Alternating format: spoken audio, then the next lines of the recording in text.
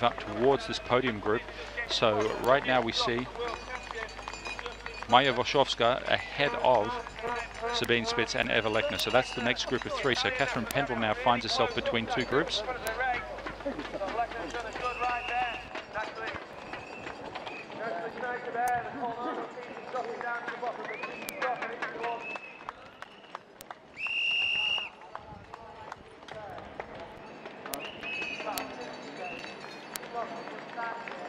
Donare!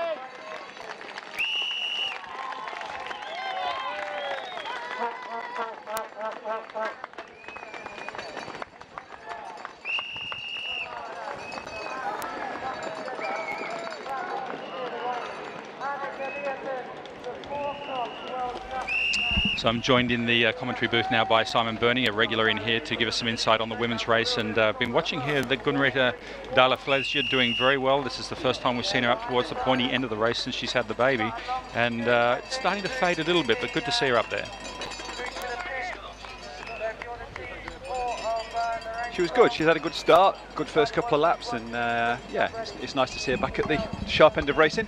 Yeah, but an interesting, fascinating race actually between the first two because we saw them leading in uh, Pietermaritzburg some four weeks ago, and they've maintained the form and come to a, a, quite a different track, and still they're out the front. So maybe some of the women haven't done enough homework in the last uh, few weeks. It's quite interesting to see that they've maintained their form coming into this race.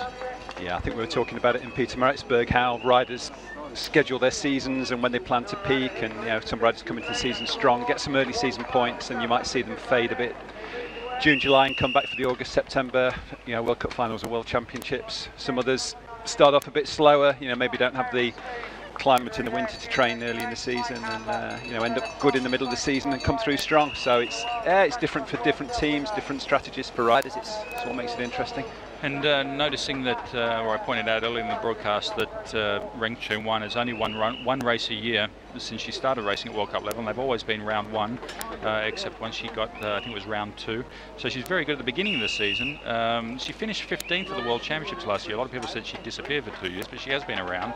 She won Offenburg in 2009. You and I were there to see that. And uh, and then 15th uh, at the Worlds is nothing to sneeze at. It's not too bad in Canada, but definitely back on form again for this year and someone to watch going through to the next Olympics. Definitely. I think after Beijing, they seemed to take a step back a little bit. And I, yeah, she, she showed up at Worlds, but it wasn't where you'd expect her to be. You'd expect her to be a podium rider when she when she does show up. Um, it was interesting. We never really found out what happened after Beijing with that whole squad and the structure and the. You had a change of change of management in the Chinese national team and coaching, and uh, some of the riders that were in Beijing we haven't seen them again, and I think it's good that she's you know, hooked up with Specialized and uh, back on the circuit. I think it, she definitely adds a adds a new dimension to the race. She's very strong when she's when she's on form. And uh, just mentioning before, she's only ranked 42 in the world because uh, she doesn't do as many races. Uh, the world ranking obviously accumulates points from all sorts of types of racing, so important for her to try and move that up a little bit, not only for the Chinese qualification, but also for her start position at the World Championships. That's right, there's no races on the Chinese domestic calendar that attract UCI points, they're on the UCI calendar, so national championships in China, and then uh, she really needs to travel to, to, other races, and they just don't do that anymore. So she's the, uh, the current Asian Continental Champion. I gather that would carry some points. It does. After World Championships, that's a big point earner for these some of the smaller nations that have an opportunity to race in Continentals. What can you say about Julie Bresset? I mean, uh, she's a very young rider. We're seeing that the Sabine Spitz, who turns 40 after Christmas this year, and and uh, some other the older riders still out there. She's so young, it means she's got a future of another 15 years or so. Yes, and she's she's moved on another step from last year as well. She was a great under 23 rider last year. She's still an under 23, but she's chosen to race elite yeah, she's got a she's got a good future if she can hold it together for a few years. I was watching that section there, or actually when I walked the course yesterday and trying to observe the line A, line B, that line A was quite a tricky thing. You had to really get your rhythm right on it, not hit your cranks on the rocks. Uh, not trialsy, but definitely something that requires a lot of skill.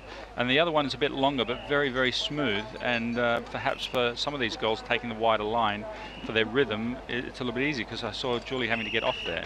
Yes, it's a, it's a tricky, it is a tricky A line. It's, it's really hard to get the balance right between A and B lines, and some organisers, uh, well, for any organiser, it's a, it's, a, it's a challenge because you've got such a range of ability of riders. But I think what the organisers have tried to do here is to give uh, the, the very technically adept riders an advantage over the B line. And the, the problem is, is when it's still faster to run an A line than to ride the B line. And I think this one is maybe slightly in favour of uh, of the A line still being run and be able to make an not keep an advantage, but to uh, no disadvantage, which is yeah, you've only got to move a rock a few centimetres, and it makes a huge difference to a, to a line. And I was watching some of the guys training uh, the last couple of days, and you know the ones that can ride it, they can clean it, and it does make a big difference. But I think in the heat of the race, when you you know heart rate's 180 and you're breathing hard, it's uh, it's a different uh, different challenge to training. Now, how's the wind? You just come in from outside. When I came in here, it was starting to get quite gusty. It is. it, it's uh, some of these open sections like Contour Road and the and the back road up the what's the one up the back called uh, up near Jing, Jingleby Summit. Jingleby, yeah. It's quite exposed up there, and they've got a headwind on the start-finish straight. It must be playing some sort of role definitely. And I think you're seeing groups and you're seeing riders sitting in a group. Uh, it's, it's, really strong. The gusts are strong, and it's it's causing some problems on the course with regard to you know course marking and barriers and yeah. team tents and things like that. So it's uh, yeah, hopefully it doesn't get any stronger as the day goes on. I noticed there that Catharine Pendrel, as she came through at the start of this particular lap, was encouraging Maja Włoszczowska to go in front to take a bit of the break on her. But now she's moved between that group of three to try and bridge the gap up to the leaders. She's out in no man's land on her own on a windy day. It's going to be a very very tough ride for her. It try is. and bridge that gap it's yeah, it's always hard to bridge a gap. I think uh, the advantage of this course is so much of it. it is very twisty and turny, lots of different changes of direction, and so much is in the forest that the, there's only two or three sections where the the wind is an issue as far as the, the physical effort, and the start-finish straight is probably the hardest one of those. Yeah, we saw Catharine Pendrel just go through, and I think just sneaking behind the tree as the camera changed angle were the other two riders there of Sabine Spitz and Maja Włoszczowska before we now pick up. It should be, uh, is that uh, Lene Byberg's in there as well? Yes, so Lene Byberg. And is that Anna Lang? Or is it Schneid? I thought it was red and white colours of Langvad. But uh, that Danish rider doing very well, the national champion. We've seen her outside near the back end of the top 20s, but she's found herself in the top 10 at the end of uh, lap number two. We're coming around to end lap number three, one hour now on the board, and we're going for a one hour 30 today. It'll be closer to the to the limit, I think, today. I think it'll be sort of between 140 145 for the women. The limits for them is 145, so I think it's just going to be sneak inside that. Right, we're trying to do some calculations. We'll do that a bit later on for the men's race on the average speed. The fastest race in the last two years has been here in Dalby, where the men average 22 kilometres an hour. And we'll be curious to see if that speed has gone up or whether the wind's had a factor or the shorter race distance or whatever. But we'll see if it manages to be one of the fastest races. Uh, because it does have the climbs out the back, but generally it's very, very flat and fast in some sections. And so you it can is, get yeah. the speed up. Yes, it's a, it's a good course for kind of keeping speed. It flows quite nicely.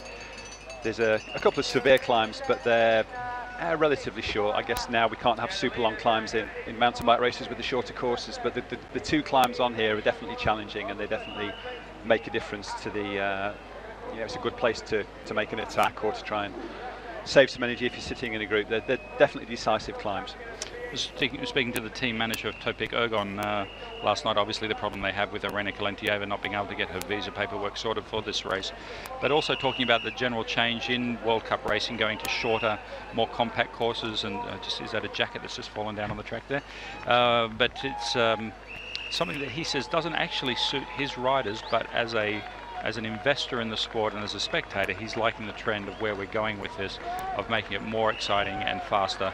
And, uh, and I guess we've got to do that in order to remain attractive and, uh, and appealing to all the other sports that are out there. That's right. There's a lot of sports trying to get the same TV time and the same marketing and the same sponsorship, and it's, it's just trying to kind of keep the sport moving forward. And whenever there's changes, some people like it, some people don't, and change is always uncomfortable. And it's, uh, you know, I think if we look back a few years, mountain biking was a lot different and there's been a few changes over the years and it's, it's not the same sport as it was in the 90s from a, a World Cup point of view. You know, we don't have the three hour 20 races at Plymouth anymore and the, uh, you know, the big 10, 12 kilometre laps where, which weren't great for television coverage and they were hard for spectators to get a feel for what's going on. I think here, you know, a course like this, spectators can kind of dash from one side to the other quite easily within a lap and see different uh, different sections.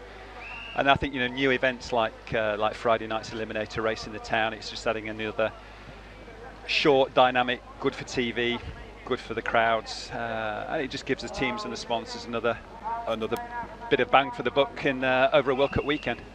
We've just seen our leaders come through and finish uh, the end of lap number three, heading out with uh, two to go.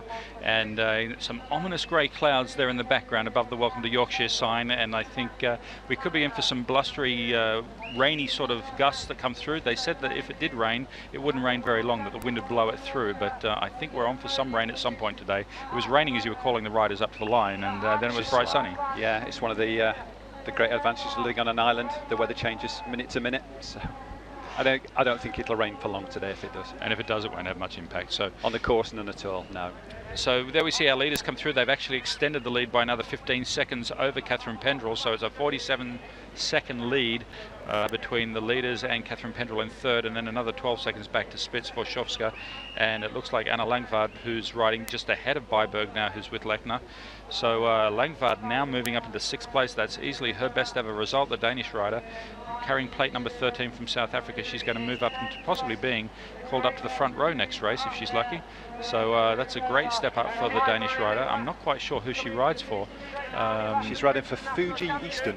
It's not a UCI registered team. It's a, I think it's a, it's a Scandinavian-based based right. team. I know she was looking for sponsor or looking for a team uh, after World Championships last year, and I guess she's put her own deal together. I've seen a couple of the guys, Scandinavian guys, in the same uh, jersey. So. Right. Okay. Well, that's a great result for what is essentially a, an independent rider. And uh, we can see now that Nathalie Schneitter has come through in ninth. Orokova's moved up now to 10th from 13th. Annie Last having a great ride today, sitting there in 11th. And um, early on, it looked like she was really trying to get on the wheel of Julie Bresset in the first part of the first lap. And she's really got to do that if she wants to sort of make a bit of a stance for the World Championships in under 23, is to rattle Bresset a little bit and say, you haven't got this all to yourself. And it's always different when you start a World Championship and all of the other riders are out of the out of the factor of, of being in there, mixing it up with you. You're there, you've got your target set right beside you, sitting with you on the line. You never know. Annie Last could have a really good shot at the World Championship this year. Yeah, definitely. Yeah, she was second last year um, you know, behind a rider that's moved into elite. So there was, uh, there's everything to play for this year for Annie, and I think again, you know, with the with the London Olympics next year to look forward to, she's she's on an upward trajectory as far as her performance goes, and I think you know, I think she can she can target a, a podium at the the World Championships. And, uh, and what's her background, Simon? How did she get into the sport? Her father races bikes, or?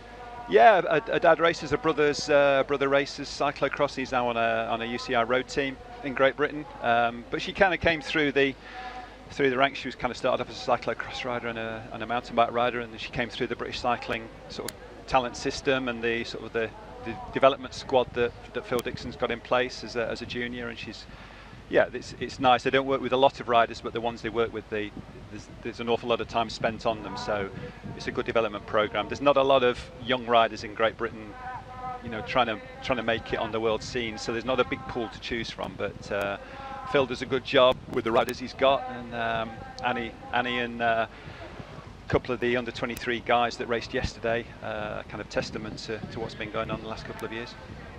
So we see now that uh, we've had 22 riders come through. Shafranitz in uh, 22nd, and it looks like uh, Katayama from Japan uh, and she's on the specialized, I believe she's one of the uh, Japanese specialized riders coming through in 23rd place. And Alexandra Engen from Sweden now dropping back to 25th. Uh, Georgia Gould's moved up another couple of spots from 19th to 16th and starting to get into touch with uh, Gunn-Rita Dahle. But uh, Sabrina Enaux from France has been a bit of a mover as well, up from 17th to 14th, and she's uh, got a chance now getting onto the back of the Emily Batty Murray, Ellen Premont and Annie last train. We saw those three go through, but we see now Ren Chengyuan has put another bit of a gap on this section through here, coming up towards uh, Warrie Gill. And uh, she likes to do that through this section, but it's a bit more than normal. So uh, it looks like uh, Katarina Nash has had a problem as well. We saw her come through in the top 10 a little while ago, and it seems like she's disappeared off our scoreboard. And uh, well, that's a big problem for Katarina Nash because she was sitting in seventh place. Now, it might just be a technical problem, a puncture, and she's running around to the feed zone. We might be able to pick that up in the, uh, the start-finish arena because... Uh, and she'd done a good ride because she'd 43rd on the grid, so she'd moved through from the 40s into that top 10 position, and she's obviously had another issue yeah. this...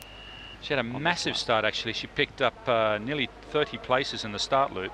So she had a massive start, got up to 16th, and, uh, well, now we see her back still not come through in 34th place. So big disappointment there for Waldeck and his crew. And uh, you see now Esther Süss is trying to make up some places after her mechanical. She dropped back to 34th, back up to 29th now. Lea Davison again off a 79 start position, moved almost into the top 30 there. She's moving forward nicely. She's been the uh, the revelation of the US domestic races so far this season at the Pro XCTs and uh, Sea Otter, and she's been podiuming at those races. And I think this is her first World Cup season for a, for a few years. Right, and she she rides for Specialized as She's well. on a Specialized Yeah. US team. Yeah. Right, yeah. and uh, looks like um,